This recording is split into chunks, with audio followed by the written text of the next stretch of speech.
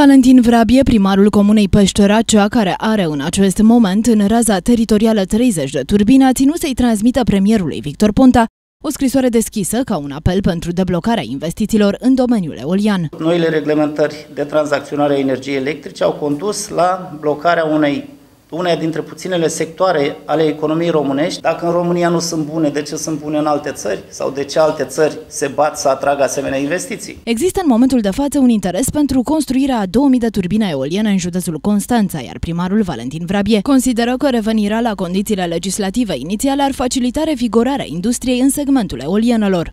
Guvernul României care este cel mai în măsură să negocieze pentru România, ar putea să cheme la discuție acești investitori, să revină la schema de ajutor ulterioară, dar să le propună, așa ca și rugăminte, construirea acestor 2000 de turbine pe teritoriul României pe teritoriul județului Constanța, unde sunt toate. În cazul în care demersul său nu va avea impact asupra guvernanților, primarul Valentin Vrabie este dispus să meargă și mai departe cu acțiunea sa de reluare a investițiilor într-un cadru legislativ adecvat. Intenționez să trimit inclusiv la președintele României, poate prin posibilitatea dumnealui de a se adresa sau atrage atenția, are o mai multă putere, să spun așa, un mai mult uh, interes. Sistemul producerii energiei din surse regenerabile a suferit numeroase modificări legislative în ultimii doi ani, determinând în tot acest timp un blocaj al investițiilor în domeniul eolian.